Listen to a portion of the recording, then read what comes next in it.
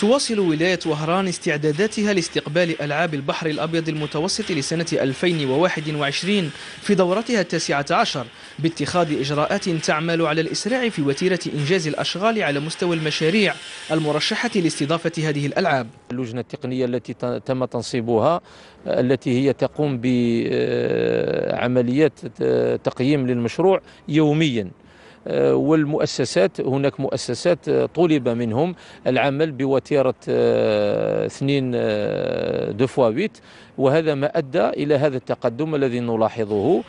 ورشات يتقدمها مشروع المركب الأولمبي الجديد الذي يضم ملعب تدريبات كرة القدم ملعب ألعاب القوى. وقاعة متعددة الرياضات وكذا الملعب الأساسي الذي لم يتبقى على إنهائه سوى أرضية الميدان وتهيئة مضمار ألعاب القوى. فيما يخص الأرضية هناك آه، ثلث أو أربع مقاولات قدمت عروض في هذا المجال وسيفصل في هذا العرض آه، عن قريب لأن هذا آه، هذا الشطر الذي بقي يعتبر هو الشطر الأخير. في الإنجاز والعموم هذا المشروع وصل إلى نسبة إنجاز تفوق 80% بقيت بعض الأجزاء. مركبة.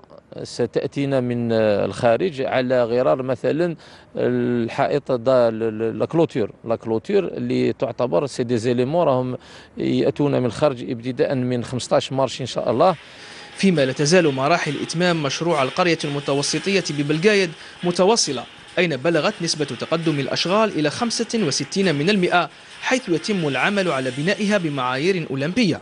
المقاولة آه، قامت بتدعيم ورشتها وسيعرف هذا هذا هذه تعرف هذه القرية كذلك آه، أكثر وتيرة وأكثر سرعة في الإنجاز. تضم هذه القرية التي تستقبل الرياضيين خلال هذه المنافسة ستة آلاف سرير.